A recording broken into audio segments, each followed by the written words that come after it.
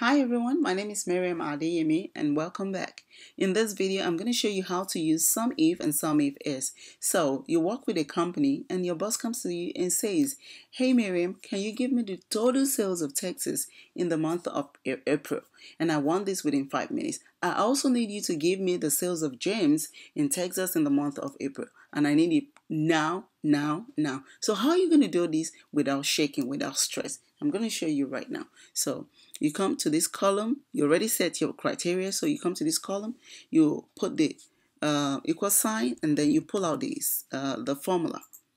And then the, well, uh, we're going to look at the first criteria, which is uh, the state. Put comma, and then you pick um, Texas, which is a criteria, and then you put comma, and then you put your criteria range, the sum range, and then you close the parentheses and there we go we have the total sales of Texas in the month of April so now you want to do uh, you want to pull out the sales of James in Texas for the same month. Remember, this is already two criteria and is not one as the sum if. This already has a, an S. So we're going to pull out the sum if equal sign, sum if s.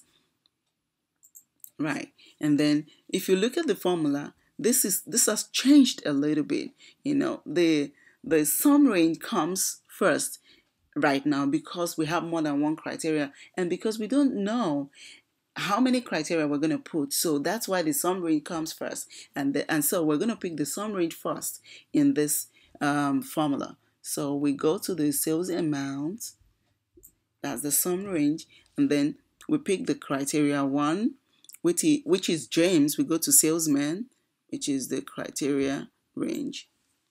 Put a comma and then we pick James and then we put another comma and then the second criteria is state. We come to state, we pick all the states where we're going to pull Texas from. Put a comma and then you pick your Texas and then you close the parentheses. And here we go. So we have the total sales of James in Texas. So this is how we're going to pull out this information within the given uh, timeline. This is how to do it. It's pretty easy. It's pretty simple. I'll see you next time. Bye.